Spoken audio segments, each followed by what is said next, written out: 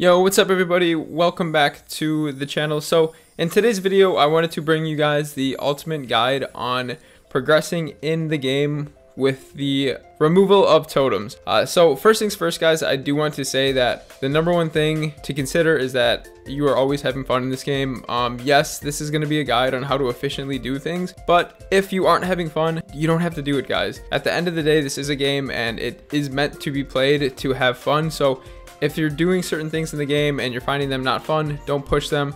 Uh, just enjoy the game, enjoy what you're doing. But for the people who don't have as much time, but they still want to progress efficiently and they want to do things effectively, this will be a good video for you guys. So, step one, think about what class you like to play. Um, and there's a few things that you can do to go about this. You can get ideas from YouTube videos by watching gameplay of certain classes.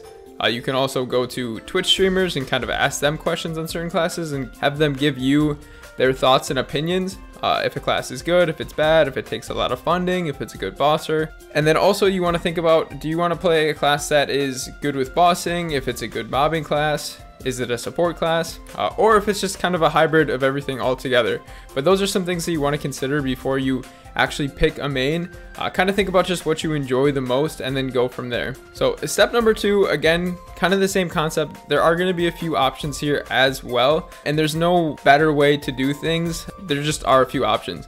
So option number one, you can play the class that you thought you would have enjoyed playing, uh, and you can train it up to level 200 or above 200 uh, right away, right from the get-go, without doing any kind of Legion. Or if you want, you can go and start right away by working on your Legion and Links, and you can kind of get a feel uh, for the characters that you make through that process and see if any of those are a class that you kind of enjoy playing um, and then from there you can kind of decide okay is this a class that I want to play and that I want to main?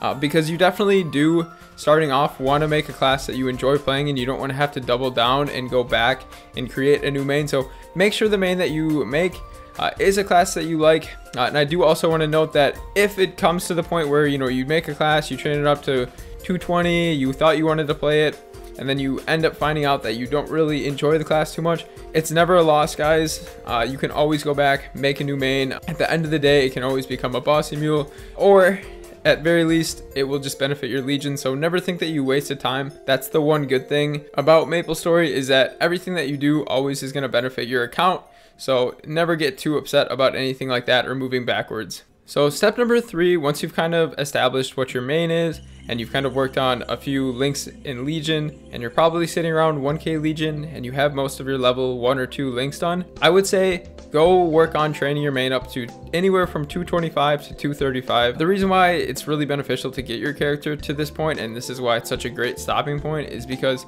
now you can work on all your Arcane River dailies uh, and help progress your character and your main's Arcane Force, which is going to allow you to one-shot mobs easier in the future. And also, it's just going to increase your main's damage by a ton. And it also gives you a little bit of a break doing the Links in the Legion as well. So now that you've gotten your character up to about 235, you can take a little bit of a break from training your main if you want to and go back and start working on your Legion again.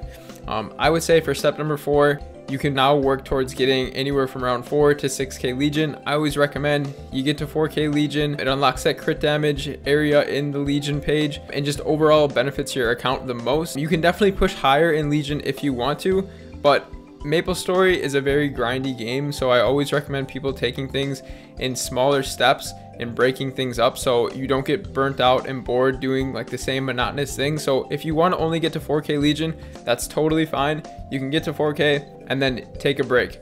MapleStory is all about doing things in chunks and blocks and keeping the game fun and fresh. You don't want to do the same thing over and over and over and over again.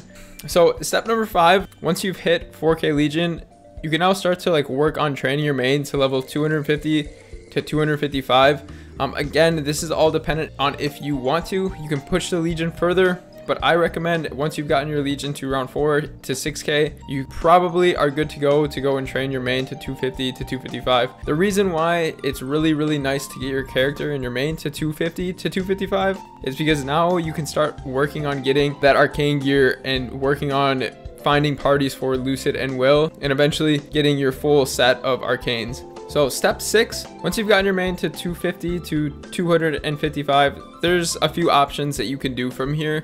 Um, no one is better than the other. This is kind of a spot in the game where you can kind of pick and choose what you want to do. So I'll kind of just go through those options for you. So option number one, you could definitely start working on boss mules if and only if though the nodes on your main are at least like level 20 and above. Uh, the biggest thing and the most challenging thing with boss mules is having enough nodes for them. The more nodes you have, the less money and funding it's going to take you, which means it's going to be the less time needed to grind on your main to fund those bossy mules. So I definitely would only, only, only recommend making boss mules if your nodes are good enough level and you're happy with your main's progression.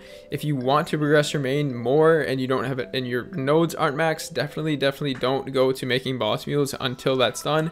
Uh, you can definitely start leveling up boss mules during like events and we have the hyper burn coming up and different Tera burns but never prioritize boss mules over your main they're always meant to benefit your main so never put priority over your main when it comes to boss mules. So option number two, you can now start working on like getting from 6 to 8k legion and finishing up that aspect of it. I think that going from 6 to 8k Legion, the most beneficial way of doing it is waiting for certain bonk events and EXP events like we have right now with the Night Troupe. But at the end of the day, it's always whatever you want to do. I personally enjoy training Legion a ton, but I did it during Night Troupe and during other bonking events. Doing it off event is definitely much harder than doing it on event. So my recommendation is only do this option if there's an event that's going to benefit Legion. Otherwise, hold off from 6 to 8k. It's a ton of time if there isn't an event eating you. Uh, so option number three is you can continue to train your main past 255 into level 260, 265, 270. This is going to help you farm a bunch of nodes, mesos, and droplets for your main and boss mules, and there's definitely no negative effect to doing this. Uh, some people may say stay in lim as long as possible and getting boss fams. Again, the option's always yours. I personally would recommend stay in Limina as long as possible on getting boss fams and also just because the money is so good there as well. But again, it's always up to you and it's always whatever decision you want to make that you enjoy the most. So don't ever think that there's a right decision or option to do here because this is definitely a challenging point in the game. Progression slows down a ton and it starts to take more and more time to make certain progressions. So don't rush this point, just enjoy the process, have fun with what you're doing and just enjoy it. So now we get to step number seven. Guys, if you made it to step number seven in the game, you already know what you probably want to work on next but there's a few options that you are probably deciding on. Probably either 21 to 22 starring your main, funding boss mules, funding a second main, min-maxing your current main. Uh, there's a ton of options, but at the end of the day, you guys know what you want to do.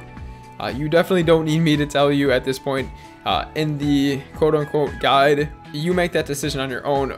So I think the biggest change that the removal of totems is going to make for most players is that making boss mules is going to be a lot harder, but it's obviously going to still be a possibility to do.